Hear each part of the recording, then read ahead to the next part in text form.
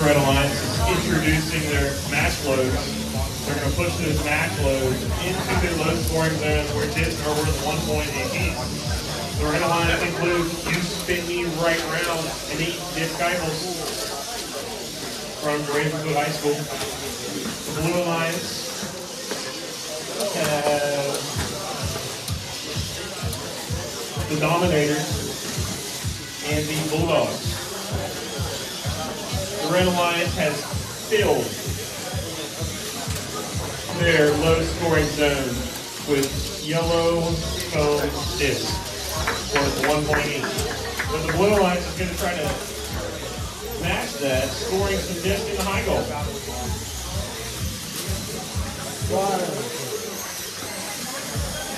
All the rollers currently are in favor of red, so the blue team is going to have to make up some ground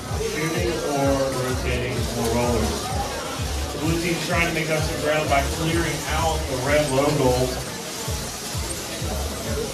Doing it successfully, but encountering a little defense from the disciples.